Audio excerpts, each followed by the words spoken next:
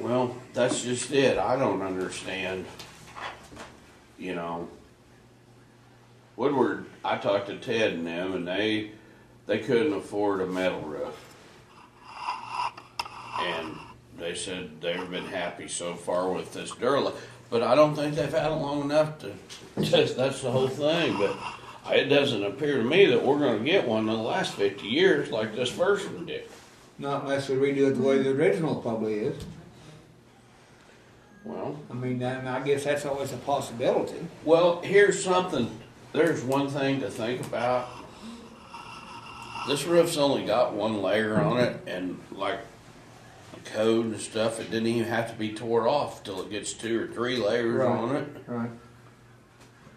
I wonder what it costs to go back hot, tar and rock. I don't know. The, the only question would be on hot tar and rock, can we get the drainage slope we need?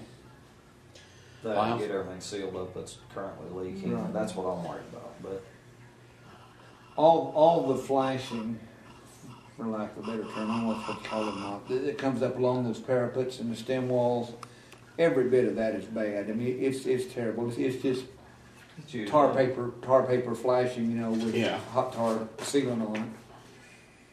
I don't know. I mean, Well, I mean, I, I'm not enough of a roof person to know, but I mean, technology's supposed to get you to where you last longer and better, and it looks to me like we're going the other way with this stuff. That's what I'm worried about. I mean, I'm that's my very- only question, and I, before you ever put out those first bids, I wanted to ask him about that, and, There's no doubt it's easier to put on, but you're gonna get plenty of practice at it. Do you want to call him?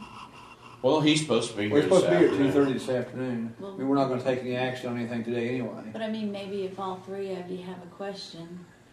We can. Well, it sounds to me like it's all the same question.